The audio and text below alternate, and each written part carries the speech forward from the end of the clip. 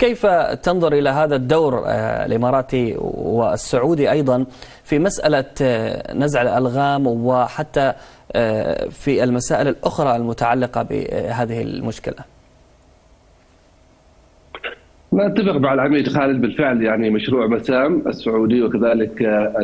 المشروع الفرق الهندسية الإماراتية كان لها دور كبير يعني وخاصه في المناطق المحررة والبعض منها حتى إنه حاول الدخول إلى المناطق التي تسيطر عليها ميليشيات الحوثي من خلال بعض اليمنيين الذين تم تدريبهم يعني من قبل مشروع مسام أو القوات أو الفرق الهندسية الإماراتية لنزع الألقاب في تلك المناطق. الجهود كبيرة في هذا الجانب ولكن المصيبة أكبر يعني ولا يعني والمشكلة أكبر التي وضعتها ميليشيات الحوثي في في في طريق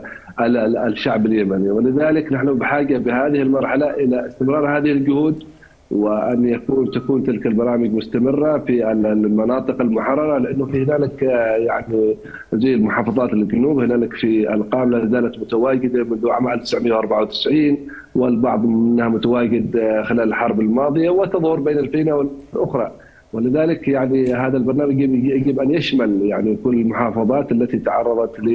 للحرب الأخيرة والتي كان لها آثار في الحروب السابقة. نتحدث هنا إنه يعني الدور التحالف العربي وخاصة المملكة العربية السعودية والإمارات العربية المتحدة الدور مشهود في هذا الجانب ولكن يجب أن يكون هنالك وقفه جاده أيضا من قبل المجتمع الدولي والمنظمات الدولية وخاصة عندما نتحدث عن المنظمات التابعة للأمم المتحدة بشكل مباشر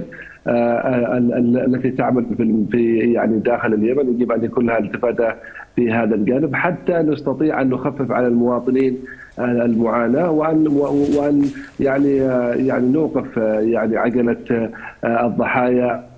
الذين يسقطون يعني